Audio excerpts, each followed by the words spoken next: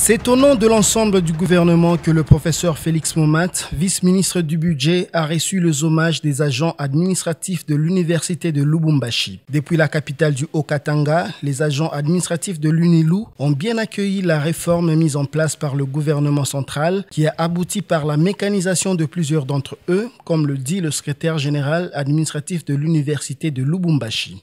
Je voulais d'abord féliciter le gouvernement de la République démocratique du Congo et ensuite le Premier ministre, le professeur Ilunga Lulankamba, et surtout aussi le vice-premier ministre au budget, le vice-ministre, le professeur Momat, pour ce qu'ils ont fait pour l'université de Lubumbashi, non pas seulement pour l'université, pour la République démocratique du Congo. Mais moi, je voudrais parler ici de l'université de Lubumbashi pour avoir mécanisé, budgétisé, n'est-ce pas, euh, certains de mes agents, moi en tant qu'administratif, qui ont fait longtemps, des années, des années, sans qu'ils ne touchent leur salaire.